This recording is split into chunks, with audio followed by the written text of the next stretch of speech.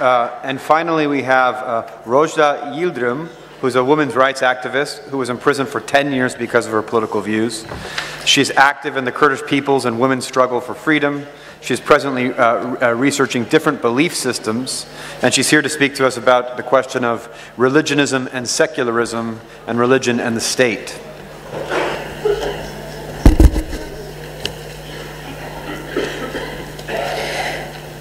Sevgili dostlar, sevgili arkadaşlar, aslında din konusu benden önceki arkadaşlarımın da kısmen vurgu yaparak değindiği, çok çetrefilli ya da şu an dünya üzerinde halen güncelliğini çok koruyan bir konu olduğu için ve aynı zamanda çok güncel bir konu. Çünkü din adına şu an dünyanın çeşitli coğrafyalarında e, Tanrı buyruğu adına insanların katledildiği, e, neredeyse her gün dünyanın herhangi bir yerinde e, insanların din adına öldürüldüğü, kafaların kesildiği, maalesef vahşet düzeyine ulaşan e, olay ve olguları yaşadığımız bir zamandan da geçiyoruz.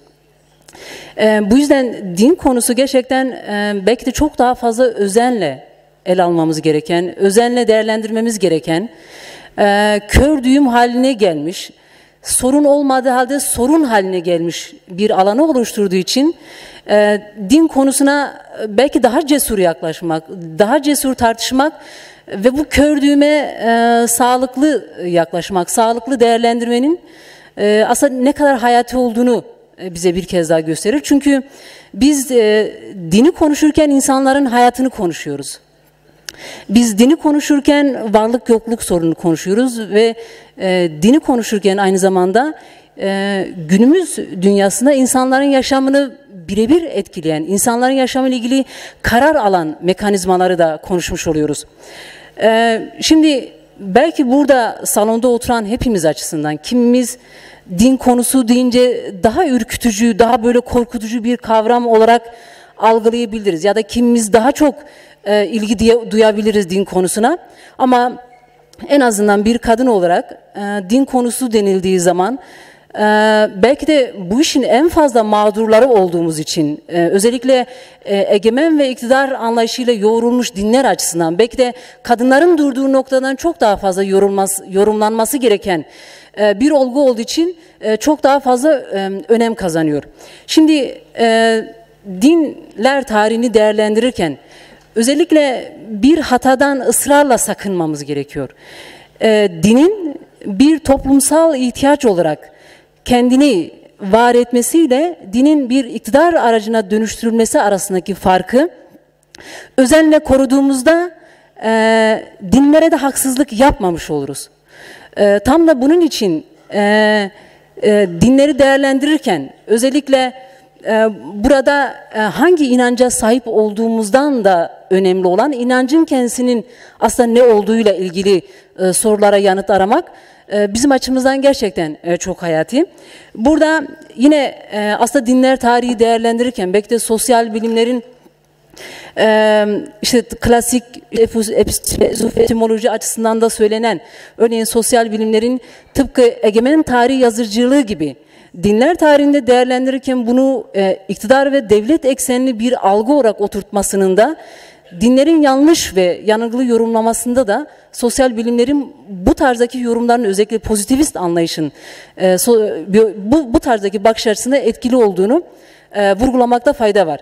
Şimdi dine yaklaşırken e, ne kaba materyalist bir anlayışla e, örneğin kimimiz şunu söyleyebilir işte din bir safsatadır e, diyebilir. Ya da e, din bir safsatadır, Tanrı yoktur deyip de işin içinden çıkabiliriz. Kimimiz böyle söyleyebilir. Ya da kimimiz şunu da iddia edebiliriz. Tanrı her şeydir, Tanrı mutlaktır, Tanrı tek doğrudur deyip de bir dayatma şekline dönüştürebiliriz. Şimdi iki yaklaşımda e, aynı yaklaşımın uç, iki ucunu temsil eder ve ikisi de yanlıştır.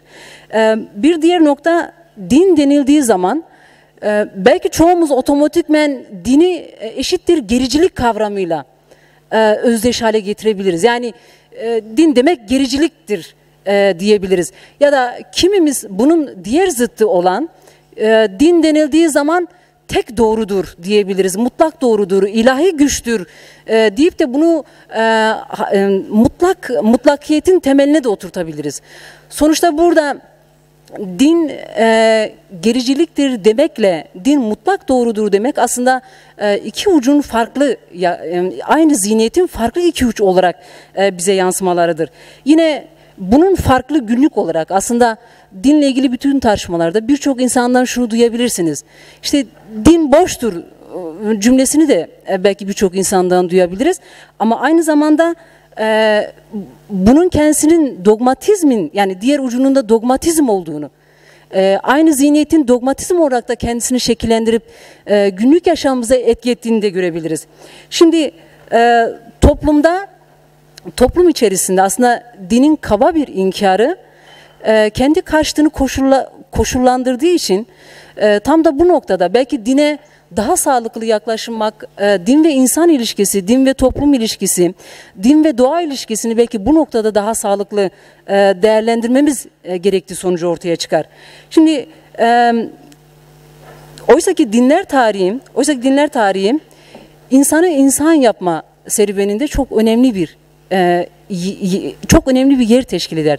Çünkü din bir toplumsal ihtiyaç olarak ortaya çıkmıştır. Yani insanın özgürleşme serüveninde ya da in- insan zihniyetinin ilk oluşmasında din gerçekten insanlığın e, anlam gücüne ve hakikat arayışında bir e, bir zihniyet aşamasıdır. E, tam da bunun için din insan toplumsallaşmasına bir kimlik olarak şekillenir aynı zamanda. Şimdi sınıflı uygarlık öncesinde e, sınıflı uygarlık öncesinde özellikle sınıflı uygarlığın kendini inşa ettiği son 5000 yıllık tarih öncesinde e, dinler insan toplumsallaşmada toplumsallaşmasında aslında insanın insan olma mücadelesinde e, tam da insanın aslında doğa karşısında belki de evren karşısında bilinmezliklerine insanın soru ve sorunlarına yanıt olma açısından insanın metafizik bir varlık olarak aslında kendini kurgulamasına insana bir yanıt vermiştir dinler. Ee, tam da bunun için din insan toplumsallaşmasından ayrı olarak bizim ele alacağımız e, bir olgu değildir.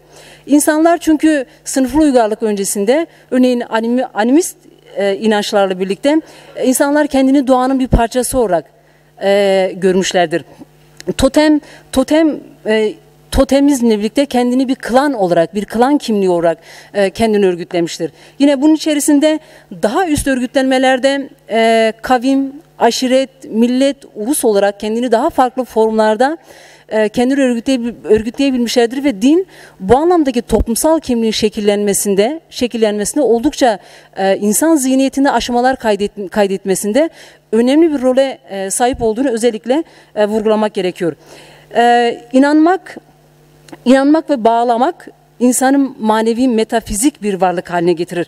Felsefe tarihinin belki de uzun süre tartıştığı e, ruh mu daha önemli, madde mi daha önemli e, ayrımından ziyade burada insanın hem metafizik bir varlık olduğu, aynı zamanda maddi bir varlık olduğu, ikisinin bir aradanlığını savunarak aslında insan gerçekliğini değerlendirmenin e, karşıtlıkları yaratmamak açısından çok hayati bir ele alış olduğunu ve bu noktada da bakış açımızı belki de düzeltmemizin insan gerçekliğini e, metafizik de olabileceğini e, kabul ettiğimiz zaman o zaman insanla din arasındaki ilişki daha sağlıklı bir e, temele oturtabiliriz. Peki burada şu soruyu e, sormakta fayda vardır. E, gerçekten günümüzdeki algı ya da günümüzdeki yaşanan biçimiyle baktığımızda e, dinler gerçekten çatıştırıcı, çatıştırıcı mıdır? Yani dinlerin e, din yıkıcı bir olgu mudur? E, din gerçekten bir savaş nedeni midir? E, dinlerin olduğu yerde savaş, kan dökmek ya da sürekli karşıt kimlikler üretmek dinin doğasında mı vardır? E, bu ve benzeri birçok soru, bu ve benzeri birçok soru sorabiliriz. Fakat e, buna şöyle diye şöyle de yanıt e, vermek mümkündür. Aslında hiçbir din kendi başına çatıştırıcı değildir. Çünkü hiçbir kimlik kendi oluşum sürecinde başka bir kimliğe karşıtlık ve rekabet üzerinden kendini şekillendirmez. Oysa ki e, bütün kimlikler barışçıldır. Bütün toplumsal kimlikler kendini inşa ederken barışçıldır. Doğayla, tüm canlılarla uyum içerisinde kimlikler kendini inşa eder. Din de buna dahildir. Ama dine çatıştırıcılık, yıkıcılık, ve gerçekten savaş karakterini kazandıran dinin kendisi midir yoksa daha farklı daha farklı faktörler devreye girdiği zaman dinin kendisi bir çatıştırıcıya mı dönüşür? Şimdi burada e, özellikle özellikle doğal toplum inançlarında biz dinin hiçbir şekilde çatıştırıcı olmadığını, tam tersine e, insanın gelişine toplumsallaştığı bir rol oynadığını rahatlıkla e, söyleyebiliriz. Fakat dini çatıştırıcı kılan iktidar ve devlet aygıtının kendisidir. Örneğin e, iktidar ve devlet geliştikten sonra, sınıflı uygarlık geliştikten sonra din insanın e, insan toplumsallaşmasındaki hakikat arayışında ikinci plana düşmüştür. Dini dogmatizm insanın sorgulama düzeyine bir müdahale olarak asla gelişmiştir. Dinin çatıştırıcı karaktere gelmesini sağlayan kesinlikle devlet ve iktidarın dine müdahale etme dine müdahale etme biçimidir. Şimdi bu açıdan e, sınıflı uygarlık tarihi aynı zamanda e, devlet ve iktidarın sömürü adına dini dincilik ideolojisi haline getirdiği, dinciliği bu anlamda kendi sömürü ve iktidar sistemini gizlemek açısından bir kırıf olarak kullandığı bir tarihsel süreç olarak söylemekte fayda var. Şimdi arkadaşlar konuşma sürem sanırım sınırlı. O yüzden konuşma ve metnimin geri kalanını okuyarak tamamlamak istiyorum. Ee, şayet tanrılar kendi aralarında, çünkü sınıflı uygarlığın gelişimiyle birlikte e, tanrı ne kadar göğe çıkarılmışsa ve tanrı hiyerarşisi olarak gökyüzü düzeni ne kadar kutsal ve hiyerarşik kılınmışsa aslında yeryüzündeki sömürü düzeni de tıpkı bunun için hiyerarşik ve devletçi kılınmıştır. Şayet tanrılar kendi aralarında bir hiyerarşi oluşturmuş, bir tanrı diğer tanrılar içinde ayrıcalıklı ise, gökyüzü katlara bölünmüş ve her kat bir katın altında veya üstünde yer alıyorsa, o zaman farklılık alt üst olma durumu evrenin bir yasası demektir. Ve her şeyin bir altı bir üstü varsa o zaman insanlar arasındaki sınıflaşma ve sömüründe bir altı ve üstü vardır. İktidarcı devletçi yapı kendisini Tanrı'nın yeryüzündeki tezahürü olarak göstermiş, din adamı kutsallıklarla bezenmiştir. Aslında din adamı Tanrı'nın görünen, Tanrı ise din adamının görünmeyen yüzü olmuştur. Bir diğer nokta sınıflaşma, devletleşme, erkek egemenlikçi toplum, topluma geçişle birlikte hanedanlar, krallar tanrılaşırken insanlarda karıncalaştırılmıştır. Burada kadınlar ilk köle olarak aslında din eliyle en fazla köleliğin meşrulaştırıldığı, en fazla tanrı buyruğu olarak mağdur edilen biz kadınlar ve tüm ezilen sınıflar olmuştur. Firavun ve Nevrut deyimleri Orta Doğu kültüründe tam da tanrı kralları ifade eden deyimlerdir. Tanrı kral bir Orta Doğu yaratımıdır. Bir şahsın bir şahıs olmanın ötesi bir kültür, bir kurumdur. Tanrı kral ve öteleşen toplum arasında fark o denli abartı ve ters yüz edilmiştir ki sonunda iki soy belirmiştir. Ölümsüzler olarak tanrı krallar ve ölümler olarak insanlar. Tanrı, Tanrı fikrindeki ölümsüzlük kavramı ile devletin ölümsüzlüğü burada özdeş kılınmıştır. Ne zaman ki devlet kurumu devlet kurumu kendini tamamıyla kurumsallaştırdı. O zaman tanrılar da o zaman tanrılar da ölümsüz kılındı.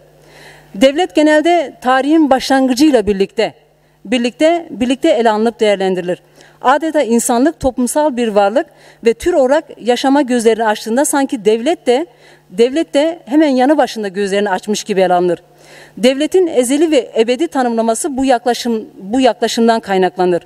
Oysa ki oysa ki devlet doğmamış ve doğurtulmamıştır. Başlangıçta başlangıçta varmış ve sonsuza kadar da olacakmış gibi gibi ele alınır. Elbette inanmak, inanmak, inanmak kurma Tanrı adına sahiplik yapanlar açısından değil, yöneten ve ezilenler adına vardır. Tanrı, tan devletler ne kadar sömürücü ve korkutucuylarsa, Tanrı da aslında aynı sömürücü ve korkutucu bir kimliğe büründürülerek sınıflı uygarlık boyunca insanlığa sunulur.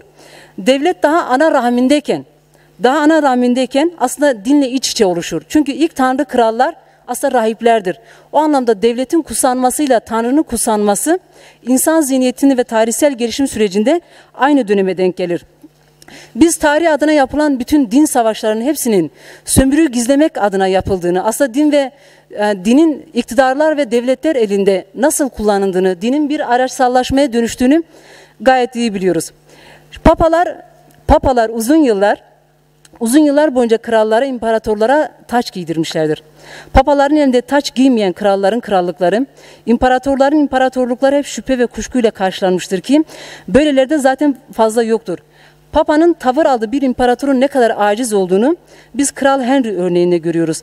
Kral Henry'nin kaç gün yağmur altında beklediğini ancak üç gün sonra Papa'nın olurunu aldıktan sonra krallığının meşru ilan edildiğini hepimiz biliyoruz. Yine yine Aziz Aziz Thomas'ın krallığa karşı savunmak için ürettiği çifte krallar çifte kılıçlar teorisinde bir kılıcın Papa'nın elinde bir kılıcın da kralın elinde olduğunu böylelikle iktidar ve devlet ilişkilerinin birbirini tamamlayan bir noktaya getirildiğini hepimiz biliyoruz. Yine Orta Doğu'daki halifeler din adına İslam adına yapılan bütün savaşların bugün e, bugün Orta Doğu'da Orta Doğu'da yapılanların bu 5000 yıllık egemen ve sömürü düzenini sömürü düzeni din adına, Tanrı buyruğu adına meşrulaştırmak olduğunu hepimiz biliyoruz. Kapitalist modernite sürecinde hepinizin affına sığınarak birkaç şey daha söylemek istiyorum. Kapitalist modernite sürecinde ise dinin kendisi tıpkı meta gibi alınır satılır bir olguya dönüştürülmüştür. O yüzden belki de kapitalist modernite dini en fazla alınır satılır bir duruma getirildiği için e, duyguların da alınır satılır, maneviyatın da alınır satılır bir duruma getirildiği için tam da bunun için din kapitalist modernitede bugün işte Orta Doğu örneğinde olduğu gibi din modernitenin bir diğer yüzü olarak kendini kendini bugün gösteriyor. Şimdi bugün Orta Doğu'da güncel bir örnek olarak, örnek olarak ortaya çıkan IŞİD örneği aslında bugün din adına dincilik ideolojisinin kendini en uç nokta olarak kendisini var ettiği alandır. IŞİD bir erkek egemen emperyalizmidir. Aynı zamanda kapitalist, modernist, emperyalist ideolojinin kendini bugün Orta Doğu'da dincilik adına var ettiği en uç noktadır. Laiklik ilişkisi de bugün ulus devlet adına ortaya çıkan laikliğin sadece din ve devlet ilişkileri olarak aslında bize sunulan laikliğin de devletin çıkış koşullarını tam olarak din ve devlet arasındaki ilişki çözemediği için günümüzde insanlığın e, din ve toplumsallık arasındaki ilişkiyi de çözemediğini rahatlıkla söylemekte fayda var. Bunun için şu önerilebilir.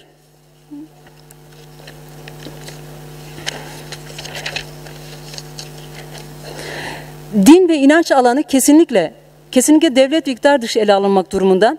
İkincisi burada bir kez daha belirtmekte yara var. Din toplumsal bir ihtiyaç olarak gelişmiştir. Bunu yok saymak ne mümkün ne de doğrudur. Üçüncüsü din bir kültürdür ama dincilik bir iktidar aracıdır ve bütün uygulamaların esasında bir iktidar aracı olarak kullanılmasıdır. Dincilik, cinsiyetçilik, milliyetçilik ve bilimcilikle birlikte çözümlendiği zaman din bir baskı aracı olmaktan çıkacaktır. Yine bununla birlikte yeni eğer biz demokratik bir toplum ve e, kapitalist moderniteye karşı demokratik moderniteyi savunmak istiyorsak dini dogmatizme karşı kesinlikle mücadele etmek durumdayız. Sonuç olarak devletçiliğin, dinciliğin, milliyetçiliğin ve bilimciliğin en büyük mağdurları, olan biz kadınlar cins çelişkisi ve buna dair mücadelenin bütün bu düğümleri çözeceğini belirtiyoruz. Günümüzde dinciliğin en açık ifadesi olan ve dincilik ideolojisinin toplam ifadesi olan işit gerçekliği dünya insanlığına ve biz kadınlara nasıl bir hayat sunduğunu hep birlikte gördük. Cennete gitmek isteyenlerin dünyayı cehenneme cehenneme çevirdikleri böylesi zamanlarda tek kurtuluş yolu demokratik moderniteyi inşa etmektir. İnsanlık ailesi Charlie Hebdo olayında Je Charlie diye bağırdığında aslında dinin bir baskı aracına dönüşmesine karşı insanlık vicdanı adına haykırıyorlardı. Tam da bunun için tam da bunun için e, belki de din sorunlarını çözerken bir dakikalığına da olsa eğer bütün dünya bu sorunun çözümünü kadınlara bıraksa eminim biz kadınlar din ve özgürlük arasında, din ve demokrasi arasındaki bağı çok daha rahat çözebiliriz. O yüzden e, diğer bütün sorunlarda olduğu gibi kadın özgürlüğünün yolu da dinciliğe, milliyetçiliğe, cinsiyetçiliğe, bilimciliğe karşı mücadele etmektir.